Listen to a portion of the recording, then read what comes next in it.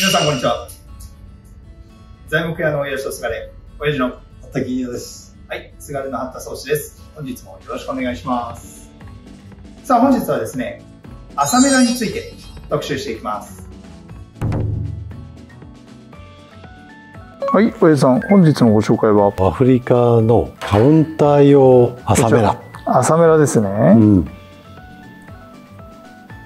品がいいね。この濃さがね、落ち着くよね。カウンター用っていうことは幅は800は届かない感じかな？ああ、いらない。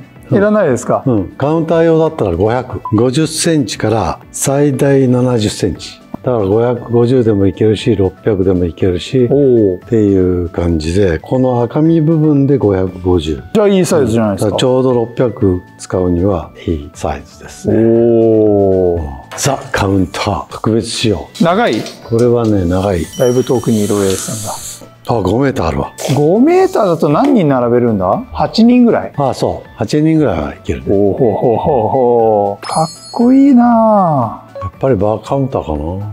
バーのカウンターで朝メラって使われるケースあるんですか？知らないもんね、みんな。うん、そうっすよね。で、知ってる人は使うでしょああ。これは。でも逆にバーカウンターってどの樹種が使われるんだろう？う。サペリもあるし、ブビンが使う人もいるし、国産あるのかな？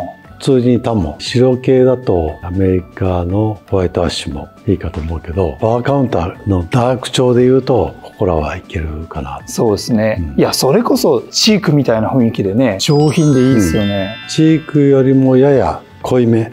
ああ濃いめこちらの方がね。樹種で言うと、アフリカ材全般ですけど、重いよね。機械比重で0.8前後でしたね。まあ重い方ですやねっぱり重い。ただ加工性はそんなに悪くないはず。削った時でも割とすんなりカンナがけなんかはしやすいということで加工性は悪くない。狂いとかはどうなんです？狂いもそんなに乾燥には時間かかりますけど、うんそんなに狂いは多くないですね。おおブビンガよりは断然おとなしい。あブーミンが暴れん坊ですからね、ですね。この子は最近やってきた子ですか？それともあ、最近だよ。17年前。17年結構昔じゃないですか